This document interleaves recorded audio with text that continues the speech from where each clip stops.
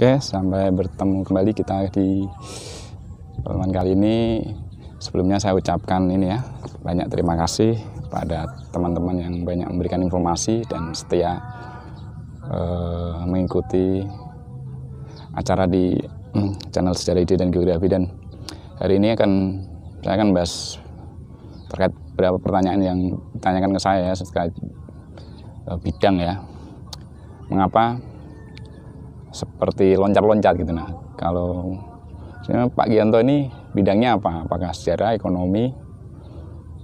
Kak uh, kok kayaknya ini. Jadi pertanyaan itu menarik maksudnya karena uh, dalam geografi bidang saya itu itu kan ilmu yang melakukan sintesis yang mencoba uh, menggabungkan beberapa aspek bidang yang untuk melihat di permukaan bumi. Dan spesifikasi saya adalah geografi manusia.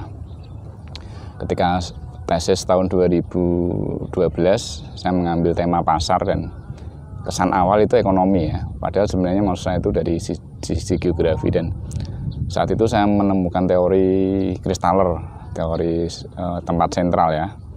Dan hari ini hari ini kita akan mencoba mengenalkan satu-satu nanti konsep-konsep itu dan eh, yang akan kita gunakan untuk membangun teori termasuk teori yang sudah ada dari kristal itu kan teori heksagonal wilayah heksagonal wilayah dan itu fokusnya lebih ke bentuk. Padahal ketika saya baca karya asik Kristeller ini ya yang sudah diterjemahkan oleh Baskin itu banyak hal yang bisa kita kita pakai konsep-konsepnya dan salah satunya adalah tempat sentral itu dan kita akan bahas itu hari ini.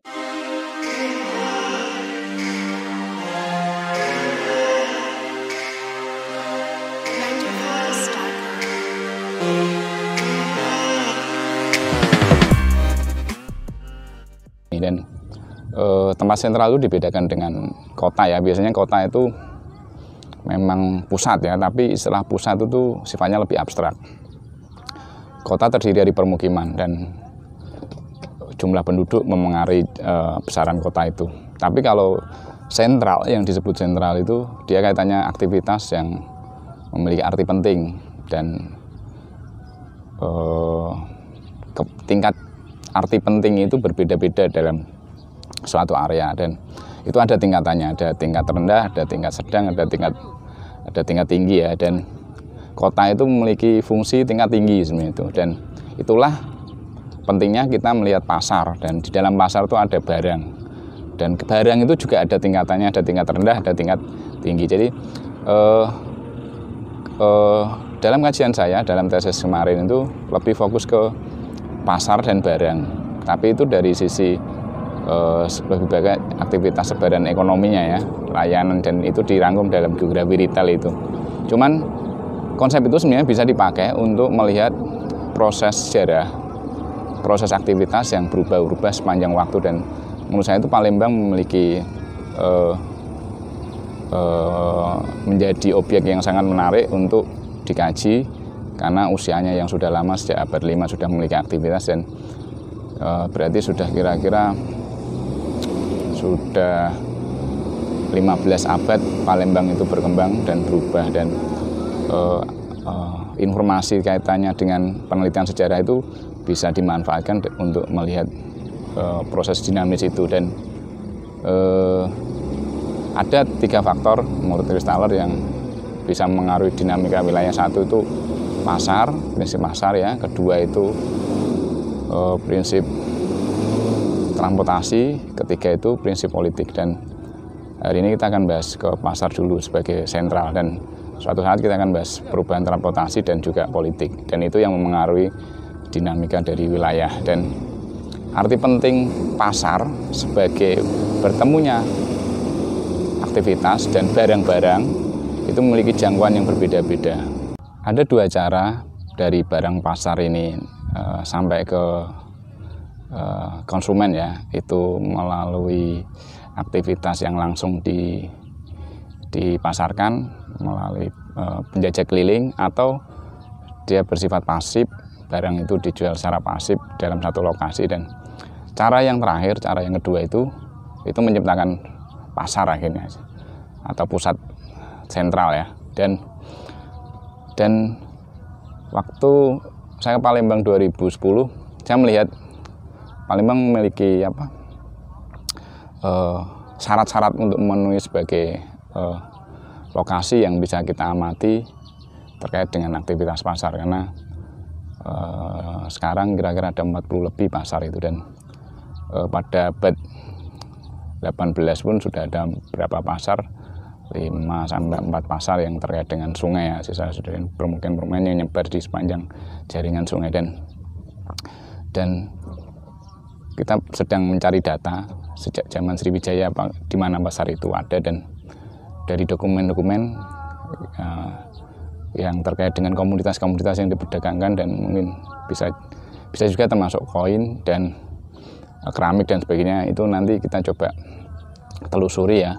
Dan dan itu semua terkait dengan skala yang berbeda-beda. Ada yang barang-barang yang memiliki jangkauan skala regional internasional ada juga yang skala lokal dan barang yang dengan skala regional dan internasional itu termasuk bayar tingkat tinggi dan barang-barang yang terkait dengan skala lokal itu barang tingkat rendah tapi semua saling terkait terkait dan dia menyatu dalam satu area yang disebut pasar ini berbeda juga pelabuhan yang kaitannya dengan uh, sebuah bentuk fisik ya, bentuk fisik yang kaitannya dimiliki seorang sabandar untuk menurunkan barang yang dari uh, dari jarak yang jauh.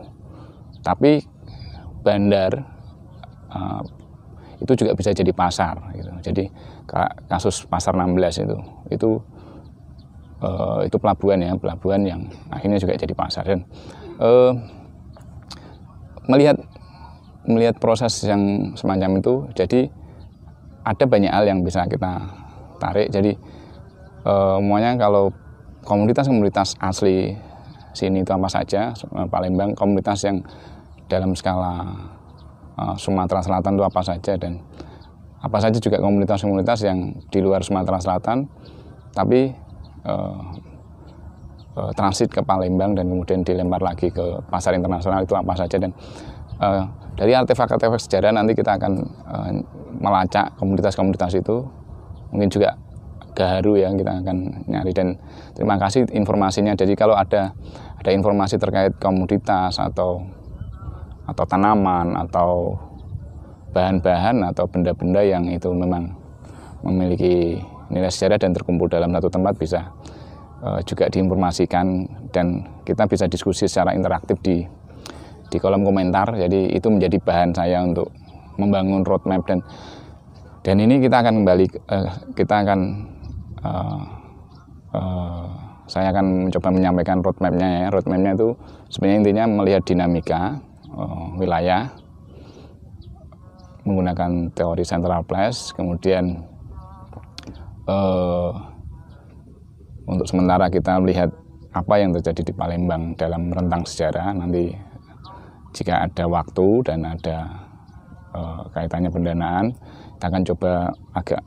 keluar lagi sampai ke jaringan-jaringan yang dulu terkait dengan Sriwijaya dan Palembang dan dan itu nanti kita akan melihat gambaran umumnya bagaimana rentang sejarah sepanjang Nusantara ini memiliki apa ya arti penting dalam jaringan internasional dan Palembang ini menurut saya itu tempat yang sangat menarik sebagai uh, lokasi untuk dijadikan objek pengamatan terkait dinamika-dinamika wilayah yang terjadi sepanjang sejarah dan baik itu skala lokal maupun skala internasional itu. Sekian, terima kasih atas perhatiannya. Jangan lupa subscribe untuk agar uh, channel ini berkembang dan kita akan bertemu lagi minggu depan. Sekian, selamat pagi. Selamat berlibur.